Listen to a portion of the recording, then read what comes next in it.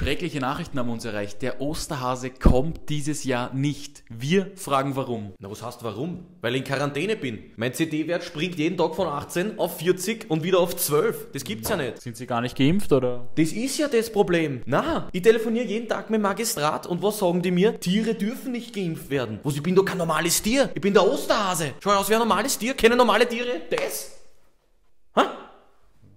Na, glaube ich nicht. Oder das mache ich alle Tag. Aber das beweist ja eigentlich rein gar nichts, oder?